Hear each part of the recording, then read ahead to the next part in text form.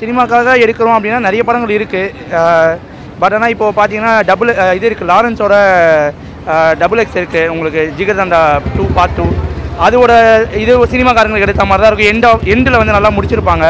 இதுவுமே அதே கதையை திரும்ப எடுத்து அகைன் ஒரு ட்ரை புதுசாக ட்ரை பண்ணாமல் திரும்ப அதே தான் பண்ணியிருக்காங்க. ஸ்டாரு ஒன்றும் பிரச்சனை இல்லை. அடுத்த இளைய தளபதி கவின் தானா? ஒன்றும் பிரச்சனை இல்லை.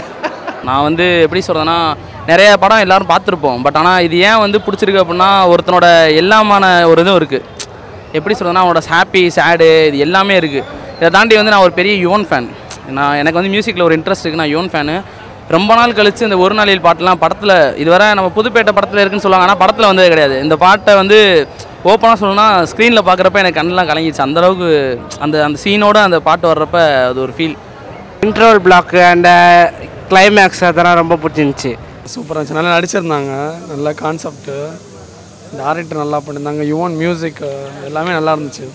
அவன் அந்த விட்டு போனப்ப அவங்க அப்பா அவனுக்கு சப்போர்ட் பண்ணார் பார்த்தீங்கன்னா ஒரு சீனில் அட்வைஸ் பண்ணுவார். அது சூப்பராக இருந்துச்சு. அதோட இம்பாக்ட் செகண்ட் ஹாஃப்ல ரொம்ப ரொம்ப ட்ராகாக போச்சு.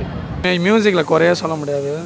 எதுவும் எல்லாமே அப்புறம் லாஸ்ட்டில் ட்விஸ்ட் வச்சாங்க. அதுவும் ரொம்ப நல்லா இருந்துச்சு படம். நான் என்ன சொல்கிறேன்னா எல்லாமே நல்லா எப்- எப்படி சொல்கிறது ஒரு ஒரு ஸ்லோவாக போச்சுன்னா அந்த ஸ்லோவாக ஏன் போகுதுன்றது அதுக்கு அடுத்த இதில் ரிசல்ட்டாக தெரியுன்ற மாதிரி. ஸோ அந்த ரிசல்ட் வந்து கடைசியில் இருந்துச்சுல. ஸோ அது அது அதுவுமே பரபரப்பாக போயிருந்தா படம் வந்து யாரும் யாரும் ஒரு இன்ட்ரெஸ்ட் இருக்குது அது பார்க்குறதுக்கு ஸோ அந்த எனக்கு தெரிஞ்சு படத்தில் எந்த சீனுமே குறை சொல்ல முடியாத சீன் தான். தேவை தேவைன்ற பொறுத்து கதைக்கும் படத்தில் அவர் டேரக்டர் கொண்டு போனதுக்கும் சூப்பராக இருந்துச்சு. எப்படி வந்து நல்லா ஒரு முயற்சி பண்ணி எப்படி சாதிக்கலாம் அப்படின்னு சொல்லிட்டு நல்லா கதை இருந்துச்சுன்னா கடைசியில் எல்லாத்துக்கும் வந்து ஷாக் கொடுத்துட்டாங்க. அது ஆக்டிங் தெரிஞ்சுது. ஆனால் வந்து அந்த தழும்பு மறைக்க வைக்கிற சீலாம் நல்லா இருந்துச்சுண்ணா அது யாரும் கவனிக்கல. அது நல்லா இருந்துச்சு. கடைசியில் அப்படியே போஸ்டர்லாம் லைனாக வருது சூப்பராக இருந்துச்சுண்ணா நான் கூட ஃபிலிம் டைரக்டராக ஆகலாம்னு நினைக்கிறேன். நான் வந்து குண்டாக இருக்கேன் ஒல்லியாக இருக்கேன் நான் சி கருப்பாக இருக்கேன். ஸோ அந்த ஒரு இதெல்லாம் தூக்கி எரியணும் அப்படின்ற ஒரு ஒரு இதுதான் அந்த அந்த சீன் அந்த அதான் பார்க்கணும். நடுவில் தான் கொஞ்சம் லாக் அடிக்கிற மாதிரி இருந்துச்சு.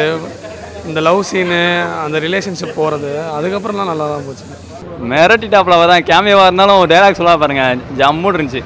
தேட்டரில் பார்க்கும்போது உங்களுக்கே தெரியும் bro.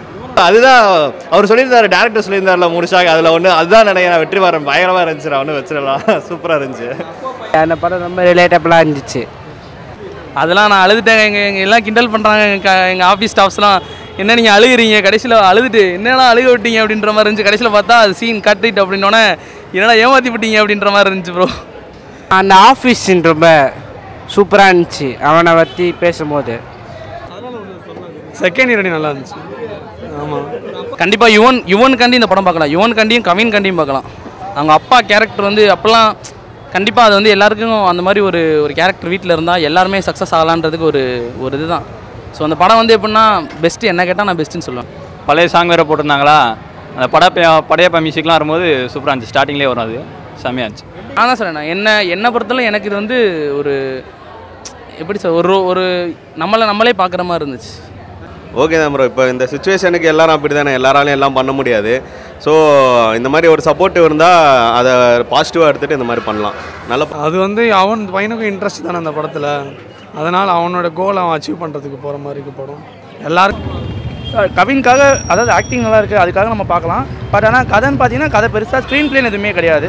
அதே மாதிரி உங்களுக்கு கதையில் என்ன சொல்ல வரான் அப்படிங் சொல்ல வராங்க அப்படிங்கிறது கம்ப்ளீட்டாக அது ஃபுல்ஃபில் பண்ணி நம்மக்கிட்ட கன்வே ஆகலையோ அப்படின்னு தோணுது. எல்லாருக்குமே ஒரு ஒரு கோல் இருக்கும்ல. அந்த கோலுக்காக எல்லாருமே வந்து இது பண்ணுற மாதிரி ட்ரிபியூட்டாக இருக்குது இந்த படம். அதான் லாஸ்ட்டில் தான் ஒரிஜினல் நினச்சா கடைசியில் அதுவே படம் படத்துக்குள்ளே படத்தை எடுத்து வச்சு மிரட்டிட்டாங்க.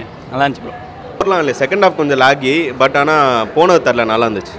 யங்ஸ்டர்ஸுக்கு மெயினாக கனெக்ட் ஆகும். ஏன்னா இப்போ நிறைய பேர் ஆப்பர்ச்சுனிட்டிஸ் இல்லாமல் இருக்காங்க. ஸோ அதுக்கெல்லாம் வந்து இந்த மாதிரி வெயிட் பண்ணாமல் இந்த மாதிரி இப்போ ஏதாவது நல்ல ஆப்பர்ச்சுனிட்டி கரெக்டாக யூஸ் பண்ணிக்கணும். அது மாதிரி கரெக்ட் அது ஆமாண்ணா. பாசம் நல்லா இருந்துச்சு. ஃபஸ்ட்டு அவன் சட்டையை பிடிக்கும் போதெல்லாம் எனக்கே ஒரு மாதிரி கோ ஜெர்க்கு வந்துச்சுண்ணா. கோ வந்துச்சு. நல்லா ஆனால் நல்லா கேரக்டர் நல்லா இருந்துச்சுண்ணா. ஸோ வந்து ரொம்ப சுமார் தான் பெருசாக இல்லை. அரைச்ச மாதிரி அரைச்ச மாதிரி இருக்குது பெருசாக வந்து நிறைய இடத்துல வந்து கூஸ் பம்ப்ஸ் மாதிரி ட்ரை பண்ணியிருக்காங்க. வெற்றி மாறனோட என்ட்ரி சில இடங்களில் ட்ரை பண்ணாலும் திரும்ப அதே மாதிரி தான் இருக்குது பெருசாக வந்து கூஸ் பம்ப்ஸ் வர மாதிரி எந்த மூமெண்ட்டுமே இல்லை. அதே கதை தான் நெய்ய புடைச்ச கதை தமிழ் சினிமாவில் ஃபஸ்ட்டு நல்லா இருந்துச்சு. அப்புறம் செகண்டு அவங்க கேரிங்காக சூப்பராக இருந்துச்சு நான் ஒன்றும் பிரச்சனை இல்லை. இப்போ கதை வந்து சினிமாக்காக நடிப்புக்காக அப்படின்னு சொல்லி சொல்லியிருக்காங்க. அதை ஃபோக்கஸ்டாக எடுத்துகிட்டு போகவும் நிறைய இடத்துல வந்து டைவர்ட் ஆகி போன மாதிரி ஒரு ஃபீல் வருது. ஜென்ரல் ஆடியன்ஸாக பார்க்கும்போது லவ் ஸ்டோரியா இல்லைனா வந்து அப்பா மகன் சென்டிமெண்ட்டா இல்லை சினிமாக்காக ட்ரை பண்ணுற ஒரு யங்ஸ்டரோட ஸ்டோரியா அப்படிங்கிறது எங்கேயுமே பெருசாக இம்பாக்ட்ஃபுல்லாக கன்வே ஆகலை. ஃபோக்கஸ்டாக எடுத்துகிட்டு போகல ஸ்டோரியை இவனோட பிஜிஎம் எப்போ போல மாஸ் ஒர்க் அவுட் ஆயிருக்கு எமோஷ்னலாக கடைசியாக வர வர கொஞ்சம் எமோஷ்னலாக இருந்துச்சு. கண்ணீர் அந்த அளவுக்கு வரல. அதனால் அப்படியே நார்மலாக கொண்டு போயிட்டாங்கண்ணா. காமெடி நல்லா இருந்துச்சு. இவனாவே பயங்கரமாக தான் மாசாக இருந்துச்சு. ட்ரக்கு தானே எல்லாத்துக்கும். மாசாக இருந்துச்சு. நான் டூ கே கிட்ஸ்ண்ணா நமக்கு எல்லாமே லவ் லவ்னாவே நம்ம இதுதான். எல்லாமே நல்லா இருந்துச்சுண்ணா நல்லா இருந்துச்சு. புரியல. இல்லை யார் யாரெல்லாம் சினிமாக்குள்ளே போகிறாங்களோ அவங்க எவ்வளோ கஷ்டப்படுறாங்கன்றது மேஜராக சொன்னாங்க பயங்கரமாக பண்ணியிருந்தார். பார்க்க நிறைய படம் பண்ண மாதிரி இருந்துச்சு. அவர் கேமியோ மட்டும் பண்ணியிருந்தார். சின்ன கேமியோ ப்ராமிசிங்காக இருந்துச்சு கேமியோ இல்லை யார் யாரெல்லாம் சினிமாக்குள்ளே போகிறீங்களோ ஏகப்பட்ட கஷ்டத்தை கண்டிப்பாக ஃபேஸ் பண்ணுவாங்க. அதை தாண்டி அவங்க எப்படி உழைச்சிட்டு வராங்க அப்படின்றது. அவர் அரசியல் வந்துட்டார் அவர். அடுத்து அடுத்தடுத்து வர ஸ்டார்ஸ் வர வேண்டியதுதான். ஒன்றும் பிரச்சனை. சரி. நல்லா இருந்துச்சு.